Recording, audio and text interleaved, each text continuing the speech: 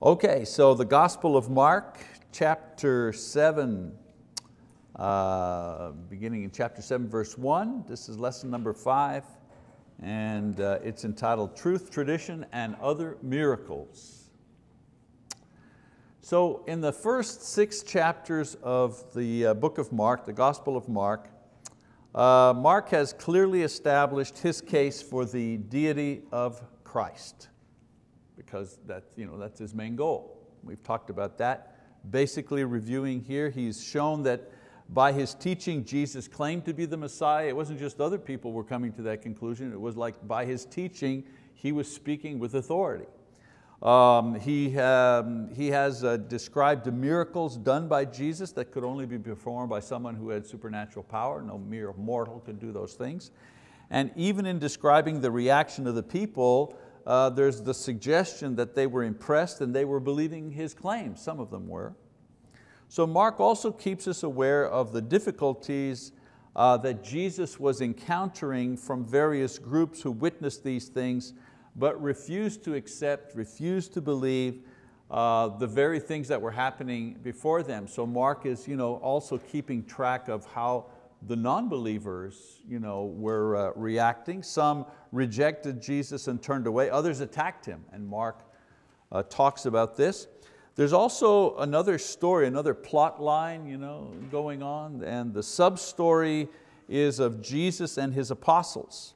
How Jesus was teaching and developing them as apostles and how He was shaping their faith, how He was preparing them to realize the very uh, significance of his uh, mission and his ministry. So you've got him doing things publicly with people, and then that second kind of line of, uh, uh that second storyline of him uh, developing his apostles. So now we get to chapter seven and eight. We get back into this cycle of miracles and teaching as he continues his ministry among the people. So in chapter seven, not going to read this section, it's too long, but I think you're familiar with the story. Um, one thing that Jesus was teaching uh, His apostles was the very great difference between human religious traditions and the authoritative word of God. These were not necessarily the same thing. The Pharisees had made you know, a life's work out of creating and maintaining an intricate set of religious rules and traditions that were based on the scriptures but were not authorized by the scriptures. For example, the uh, word of God said uh, not to work on the Sabbath, uh, not to do your regular job on the Sabbath. The Sabbath was there to focus your mind, your energy on God and also a time for rest.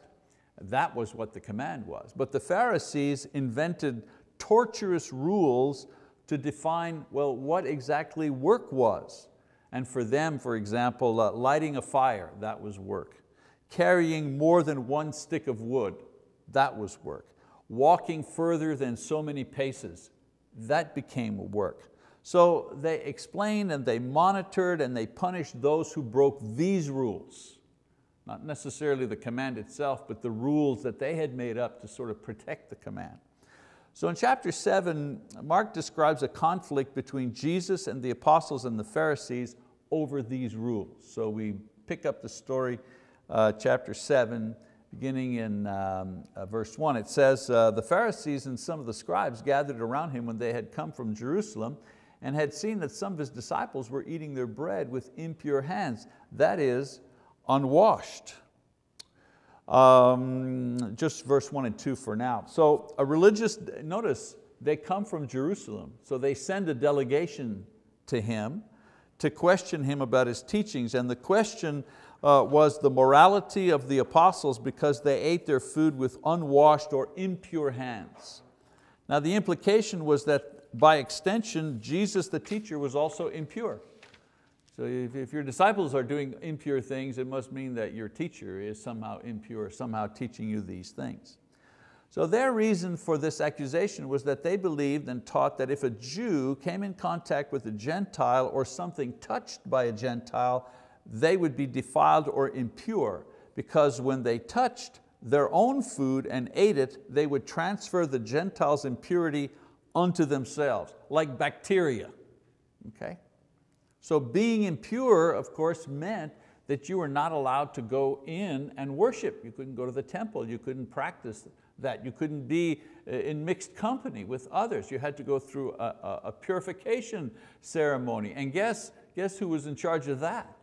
Okay, so it was a, a big long uh, uh, uh, process. So let's keep reading. It says, for the Pharisees and all the Jews do not eat unless they carefully wash their hands, thus observing the tradition of the elders. Notice he doesn't say uh, uh observing the law of God. It's the tradition of the elders.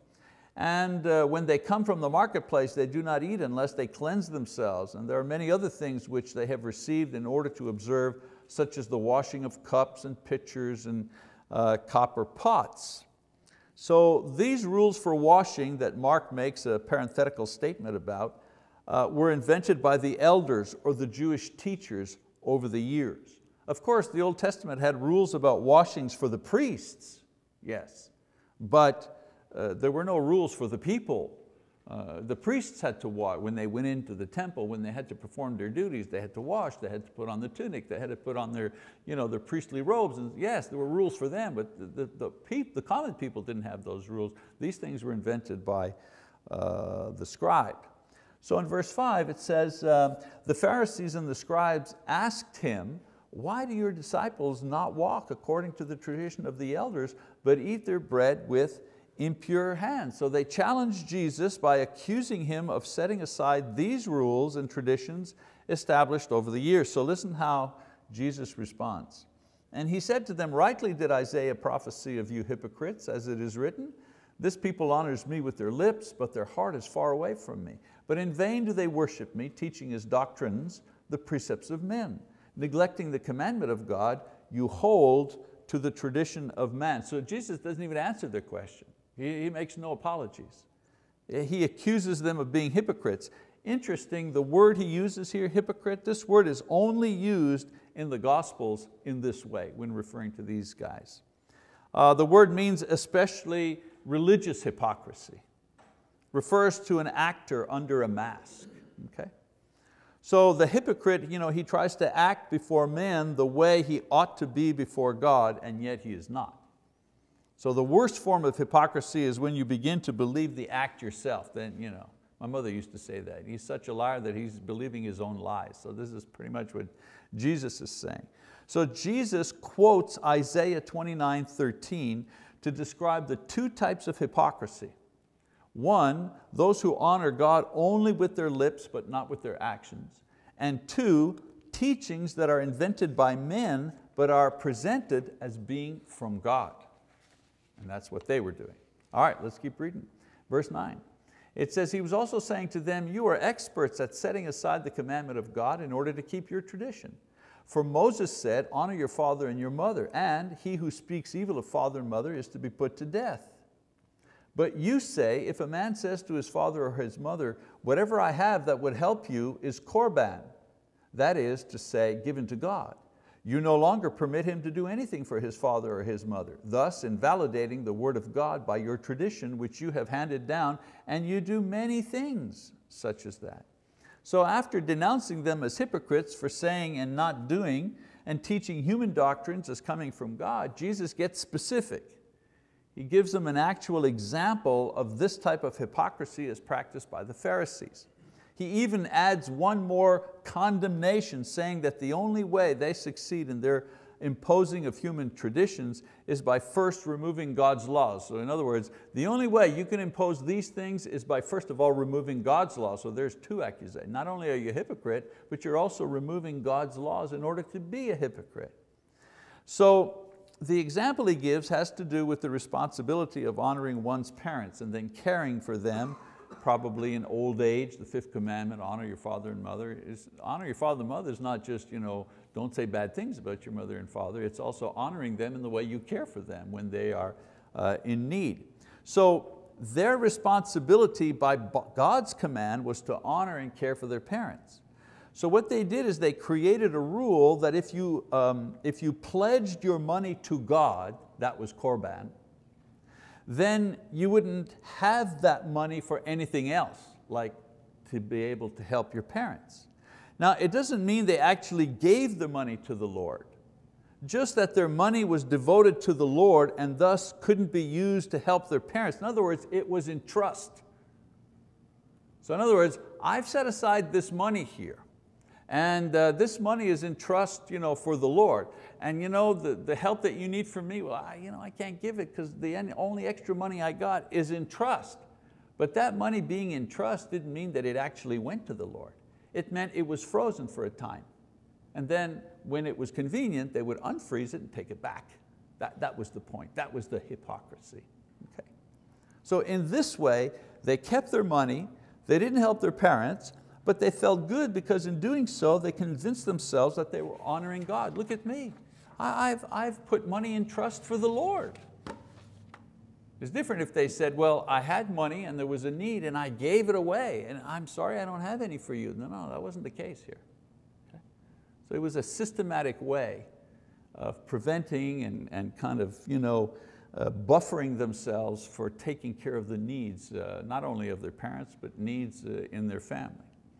So Korban by itself was not a bad thing you know, making a pledge to leave money in one's will to donate to the temple, you know, that was a good thing. But not when it outweighed the more important need of caring for one's parents. Okay? So Jesus says that they had a lot of things backwards like this. He doesn't name them, he just uses that one example. So in verses 14 to 23, uh, Jesus gives another example of this inconsistency by responding to the earlier accusation concerning the washing and the defilement. Notice he hasn't talked about that yet. That was the original accusation. So now he talks about that. In, um, and he explains that food does not have the power to make a person pure or impure. You know, morality has to do with a person's heart, not with his stomach. So food is you know, he, you know, a familiar passage. He tells them, you know, the food that goes in the mouth, it, it goes out. It passes it through your body. So food is consumed and voided. It has no moral effect in and of itself. Washing before eating did not increase or decrease one's standing with God from a moral perspective. Morality, impurity was not like bacteria that could be transmitted by touch or contact. It was things that you know, stemmed from a person's heart.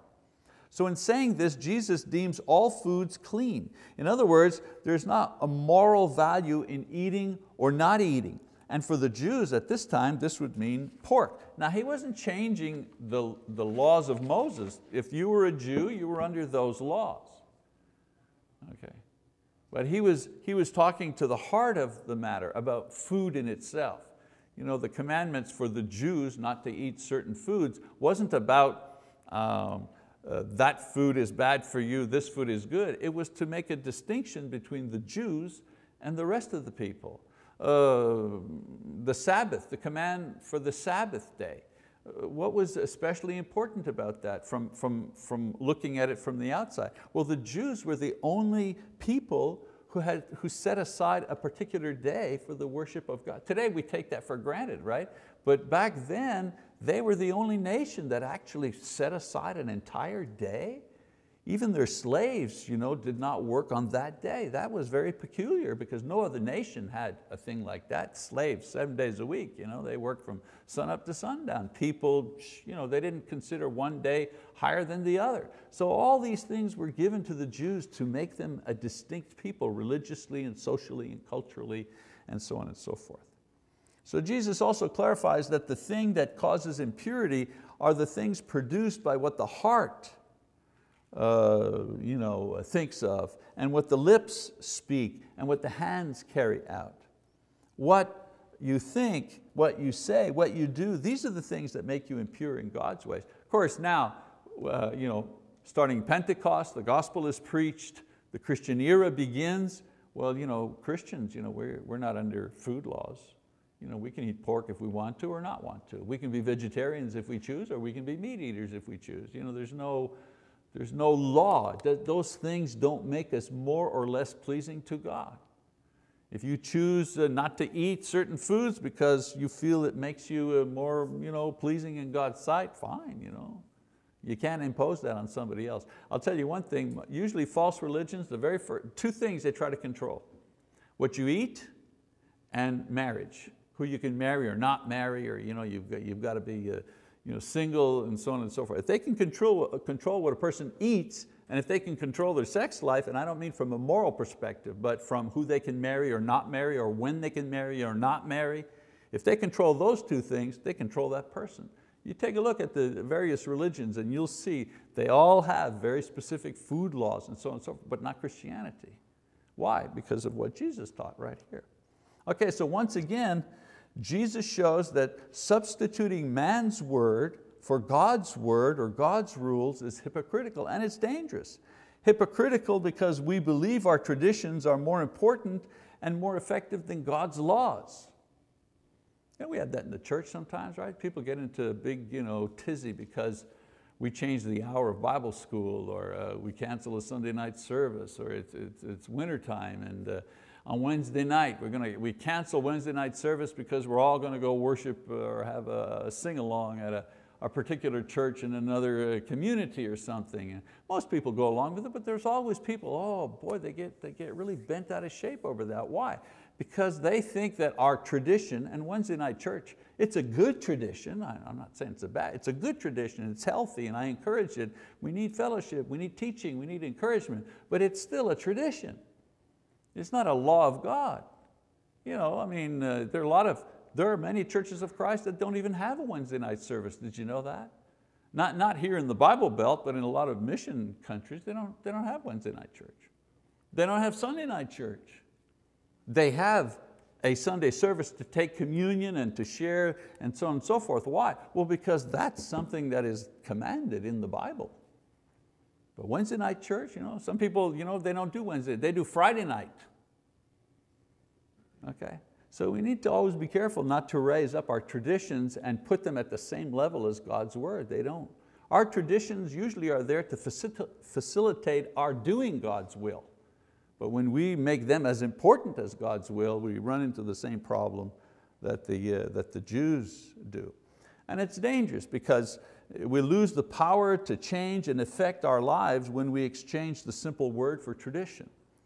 And we lose sight of what's important. We, we focus on the rules and keeping the rules instead of focusing on God's word and His real laws.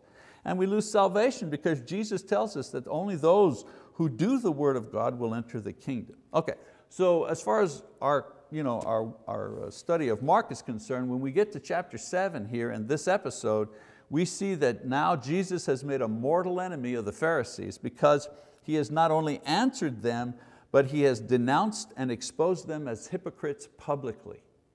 So now you know, the worm is going to turn now. Now it gets very, very uh, dangerous. In the meantime, we have, a, we have another episode that takes place the Syrophoenician woman, chapter 7, verse 24.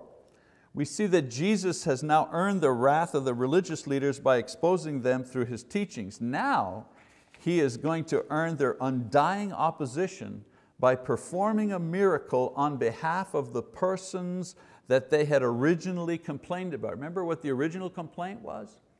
The original complaint is, you don't wash your hands before you eat. You may have touched something that a Gentile has touched and therefore made yourself impure, right?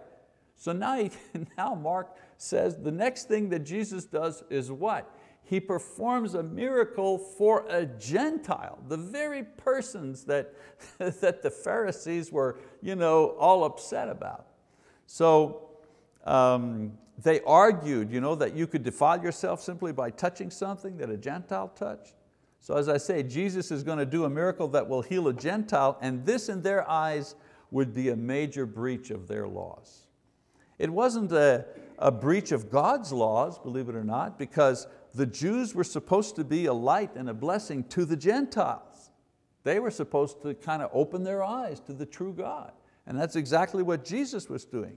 But the Pharisees had so many rules to avoid falling into idolatry uh, of the Gentiles that they completely cut off any opportunity to witness to them or to be any influence to them by the way that they acted. Imagine, you think you could influence someone to be converted to your religion if when they approached you and their shadow crossed your shadow, you crossed the street so their shadow would not cross your shadow? You think you have a big chance in sharing the gospel with them or sharing your faith with those people? I don't think so. So let's read the story, it's interesting. Uh, chapter 7, verse 24. So after this episode, Jesus got up and went away from there to the region of Tyre. And when he had entered a house, he wanted no one to know of it, yet he could not escape notice. But after hearing of him, a woman whose little daughter had an unclean spirit immediately came and fell at his feet. Now the woman was a Gentile of the Syrophoenician race, and she kept asking him to cast the demon out of her daughter. And he was saying to her, let the children be satisfied first, for it is not good to take the children's bread and throw it to the dogs. But she answered and said to him, yes, Lord, but even the dogs under the table feed on the uh, children's crumbs. So verse 24, Jesus you know, leaves Capernaum and he goes to the extreme border of the country to avoid the crowds and to avoid the enemies. And so the woman that comes to him uh, a Gentile, a pagan, but she believed in his power. Note how her approach was different than that of the Jewish leaders. They came to him with an accusation. She comes to him with a request in humility. So Jesus responds to her request by describing his primary mission. And his primary mission is to feed the children, God's chosen people, the Israelites, and to preach the good news to the Jews first, according to the word. Now we need to understand, you know, when we talk about dogs, it sounds awfully insulting what he says. You know, I want to feed the dogs like you're calling her a dog. You know. Dogs in the culture of those days were wild and they survived as scavengers and few people owned them and they were not, you know, they were not welcome. In those days, you know, like today, you know, everybody and their brother has a dog, but in those days, no, that was not something you did. Uh, really? take your good food and feed it to a dog? Have the dog sleep with you in bed? No, I don't think so. That, not, that was not their culture, okay? Some families, however, kept smaller dogs, I guess, as pets, but again, this was exceptional and they were fed scraps from the table. Now, Gentiles were considered like dogs by the Jews. And if they were friendly, they were friendly no more than a person would be to a pet. So Jesus uses the word for pets, not dogs, in this passage. And he's saying, let the children eat first, as is proper, because it wouldn't be right to feed the pets with their food. That's what he's saying. So this woman, under, you know, it's like, it's the same thing. You've made a, a nice uh, meatloaf and veggies and so on and so forth, you know, and yeah, you have your beloved pet there, you know, shoo shoo, your little pet, you know what I'm saying? Would you really take a plate and, and make a portion for shoo shoo, you know, and with bread and butter and, and the meatloaf and the veggies and take that and, and give that to shoo shoo before you gave it to your kid? Well, no. No, first I'll feed the family and then what's left I'll give to shushu. That's how it works. And basically he's using that imagery. Okay? So um, she understands this. She knows, her, she, knows, she knows that there's animosity between the two people. She knows how the Jews see her. You know, it took a lot of courage for her, a woman, to go see a man on top of that. So she understands that righteousness must, must be fulfilled, you know, first things first, but when they're done, she says, couldn't the, don't the pets get the leftover? She's using his imagery and saying, hey, okay, according to your story, the pets still do get some food, don't they? So she understands her position in the community and she asks only for a small portion. So in verse 29 and 30 it says, and he said to her, because of this answer, go, the demon has gone out of your daughter. And going back to her home, she found the child lying on the bed, the demon, the demon having left. So Jesus performs a great miracle, this time at a distance, exercising His will only in casting out the demon. Now another example of Jesus is dealing with this common problem of that era. You know, interesting to note that Jesus deals with demons and related problems 80 times in the gospel. It was a tremendous issue uh, in those times. Uh, uh, another interesting thing that you see about the demons that are spoken of quite often here in the New Testament, uh, demons never manifest themselves as monsters. Never in the Bible, okay? Not like the movies. The movies, the demon comes out and it's some funky looking thing, you know, whatever, you know, the, whatever the Hollywood artists can figure out. You know. But in the Bible, the demons are real. They cause trouble, they're evil, they're of Satan, but they never materialize as some sort of monster looking thing. So they never manifest as monsters, they never manifest as persons either, outside of the people that they possess. Their presence is only known because of the suffering that they cause. Because the Bible writers say this suffering was caused by a demon. And, and the writers make a distinction between the suffering that was caused by a demon possession and the suffering that was caused by an illness. The woman, for example, who had the issue of blood, they didn't say she was possessed by some demon that was causing, no, no. She had a disease, a bodily disease that Jesus healed.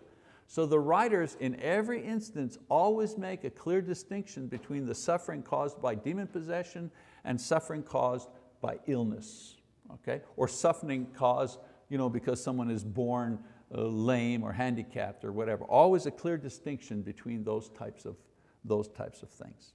All right, so uh, Jesus now returns to the area where the demoniac had lived. Remember we talked about that?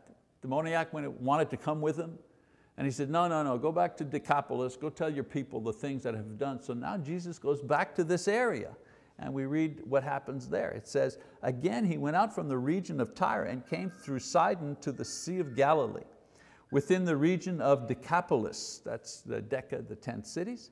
They brought to him one who was deaf and spoke with difficulty, and they implored him to lay his hand on him.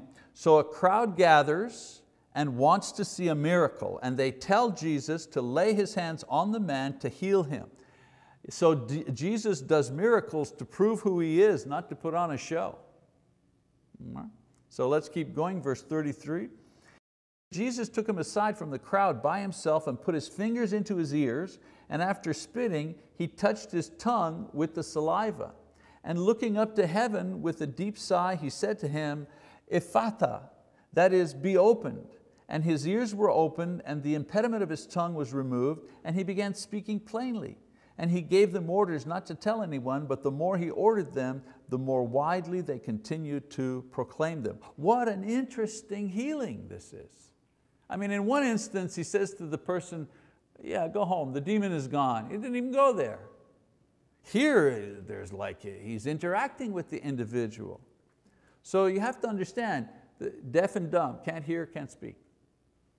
So the man is confused. He's facing this strange rabbi. So Jesus takes him aside, first of all. Now the crowd is there messing with him and you know, shouting and so on and so forth. This is, he can't hear, he can't talk. So Jesus takes him aside, one-on-one. And he needs to communicate to the man what, is about, what he's about to do. Well, how do you communicate to a, a deaf and dumb man you're about to heal him? How do you tell him that? What do you do? Well, you use some kind of sign language, right? I mean, today we don't say deaf and dumb, I guess we say uh, a hearing impaired, that's it, hearing impaired. But he was completely hearing impaired, he couldn't hear, couldn't speak, right? So what does he do? He uses sign language. The fingers on the ears to, signal, to signal that the problem is in your ears, right? You can't hear. Uh, uh, he spits and touches the tongue. Why? To signify what you can't speak. Uh, a sigh and a look up to uh, heaven to show where the solution is going to come from. It's a way to communicate that the man's own prayers, the sighing, are now uh, going to be answered. Okay? So he looks at him and he says, be opened. And the fact that the man hears and responds is a sign that the miracle has taken place because the man right, speaks. So verse 37, says, they were utterly astonished, saying, he has done all things well. He makes even the deaf to hear and the mute to speak. So once again, Mark comments that the reaction of the people demonstrates that they were convinced that they, these were legitimate miracles. All right, feeding of the 4,000. We need to move a little bit here. Um, uh, feeding of the 4,000 is chapter 8, uh, verse uh, 1 to uh, 21. Well, here in verse 1 to 10. Um, this is the second time that Jesus performs this miracle. If you read some commentaries sometimes, some of the scholars, they say, oh, well, he's, you know, this is, it only happened one time. You know, it only happened one time. But no, Mark records it twice. So you know that it's uh, the second time that he does this miracle because Mark would not have repeated the description of the same miracle twice. None of the gospel writers ever do that. Now, some of them you know, describe, you know, Mark will describe a miracle that was in Matthew or Luke will describe a miracle that was in Mark, but Luke never describes the same miracle twice in two different places in his gospel as Mark does. So Mark describes the first instance of the, you know, the, the, the, uh, the, the, the food being multiplied, the, the bread and the fish being multiplied in chapter six, and then he describes another instance, same type of miracle in uh, chapter, um, chapter eight. So it's a similar situation, a similar, similar outcome, but the people and the location are different in both instances. Now this miracle actually sets the stage for teaching that Jesus will give His disciples after they leave this place. He warns them about the Pharisees and their teachings. Remember, this whole section started with the Pharisees showing up, right? And challenging Him. Everything after that is all hooked back to the Pharisees. Everything that he's done in one way or another you know, points back to them. So this miracle here, what does he teach concerning it? Look at the great power that I have, or Jesus can take care of your needs? No. Uh, the, the, the lesson he's going to draw from this for them is be careful of the leaven of the Pharisees. That's, that's the lesson, okay? So he warns them about the Pharisees and their teachings and treachery now that he has uh, incurred you know, the Pharisees' wrath by exposing and condemning them publicly. And he does this using a figure of speech comparing their evil to the leaven you know, that's hidden in, a, in dough. Of course, the apostles, they misunderstand thinking he's chastising them for forgetting to bring along some of the leftover bread. And then he chastises them for real, not for forgetting the bread, which was true, they did forget the bread, but for failing to understand what was going on, failing to recognize who He was after seeing so many miracles and, and, and, and teaching. So now we have another miracle here, this time uh, curing a blind person. Verse 22, it says, and they came to Bethsaida and they brought a blind man to Jesus and implored him to touch him. Some, you, do you see something similar here? Before they brought him a hearing impaired and deaf and implored him to touch him. Now they bring him a blind person, same, same idea. Uh, taking the blind man by the hand, he brought him out of the village. Oh, it does the same thing. Gets away from the tumult, brings the guy you know, away from the tumult. He brings him out of the village, and after spitting on his eyes and laying his hands on him, he says to him, do you see anything? Uh, next verse, and he looked up and said, I see men, for I see them like trees walking around. Then again he laid his hands on his eyes and he looked intently and was restored and began to see everything clearly. And he sent him to his home saying, do not even enter the village. In other words, not your village, don't go back to where we were. You know, don't stir up more, you know, more chaos here. So in this passage, Jesus performs another great miracle, healing a blind man. The miracle, like the deaf and dumb man, was done in stages so the man could realize what was happening to him gradually. And Jesus needs time and he needs to be free of movement to finish his ministry, so he tells the man, don't go back to the village, don't stir up more stuff there. It's hard enough as it is, you know, moving around the country without the, you know, the crowds following him. So then we get to chapter eight, um, and it seems that the gradual opening of the man's ears and the man's mouth and then the gradual opening of the blind man's eyes, these miracles also serve as a, a kind of a symbol or a metaphor for the gradual opening of the eyes of the apostles and the gradual opening of their ears to understand and to see exactly what is going on. The people he healed, they could talk to each other, he could now hear what people are saying to them, the blind guy could actually see what was going on, but for the apostles who could already see and hear, their problem was they weren't seeing the truth and they weren't hearing and understanding what Jesus was trying to explain to them. So slowly but surely Mark demonstrates that you know, Jesus is opening them up uh, to the truth. So now uh, Jesus asks them directly, who do they think He is? And Peter acknowledges the conclusion that all the miracles and teachings point to, that He's the Messiah. And with this confession, Jesus his first goal with his apostles has finally been reached. You see the, the balance there? The healing of the blind and the deaf, and the opening of the minds and the hearts of the apostles. The blind and the deaf could see the natural world, what is going on, and, and, and hear, and so on and so forth. But the apostles now, their eyes were open and their hearts were open, not just to the natural world, but to the supernatural world, because they finally say, well, you're the Messiah, you're the Son of God. Okay? And Peter declares it. So with this confession, Jesus' first goal has been reached. They believed the evidence before them and they confessed the conclusion. So Jesus warns them not to share this just yet.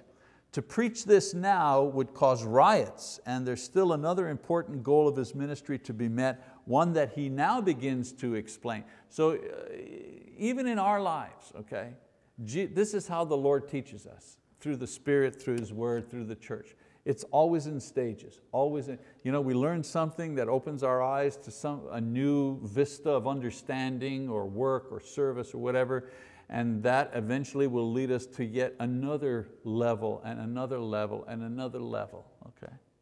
Uh, this is why it's important to just keep going. You know, sometimes we fail, sometimes we see ourselves as sinful and weak, you know, and the thing we want to do is stop or quit, you know, because, oh, I'll never make it, I'm no good, I'm not good enough, blah, blah, blah. You know? And it's like the Lord is saying to him, stop, don't quit, keep going, because I got something else I want to show you. I want to show you something different. Don't worry about the sins, they've been forgiven on the cross. Don't worry, I know you're not perfect, that's why you know, you're under my grace. I know that, just keep going. Okay? Well, this is what he does with them. They recognize, well, you're the Messiah. Okay, well, he kind of says to them, okay, now I got something else I need for you to understand. and that's the cross. That's going to be a, mm, that's a big bite, okay? So he's going to talk to them about the cost of discipleship, all right?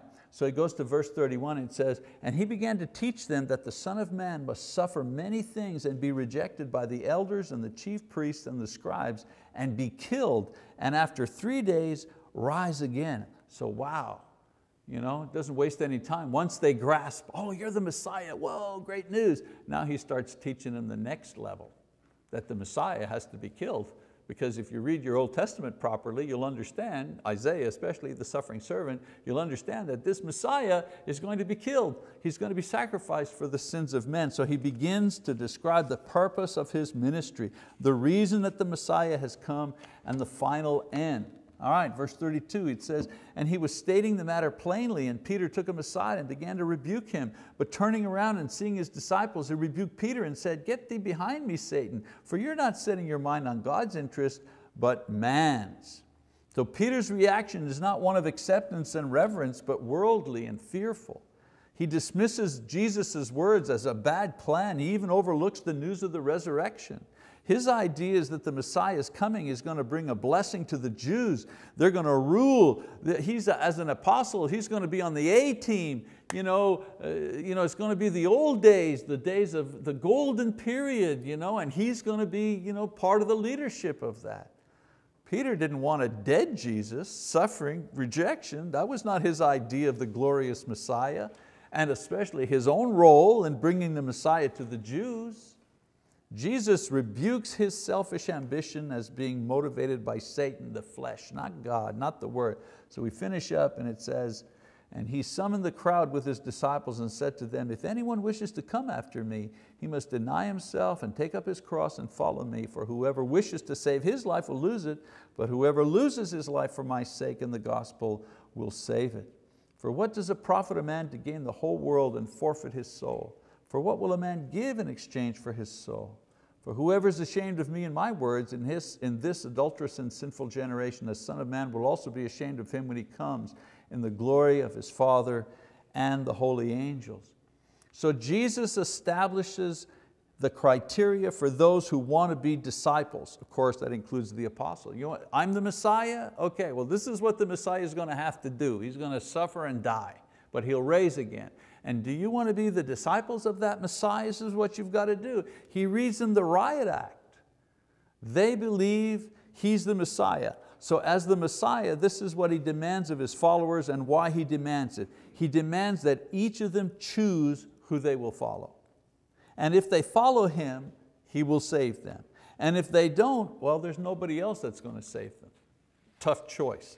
So until this time, it's been a wonderful ride for these guys. It really has. I mean, great teaching, He opens their eyes and their hearts, tremendous miracles to awe them. And remember, they're with the guy who's doing the miracles.